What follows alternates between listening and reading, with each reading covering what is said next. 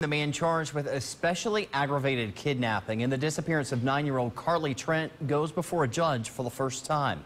In court this morning, Gary Simpson received a court-appointed attorney and his bail was set at $1 million. He was also ordered to stay away from Carlie and her family. Gary Simpson is accused of picking his niece from school under false pretenses. The 57-year-old returns to court next Monday. Simpson was arrested on Thursday uh, evening, ending a week-long Amber Alert and hunt for nine-year-old girl that landed Simpson on Tennessee's most wanted list.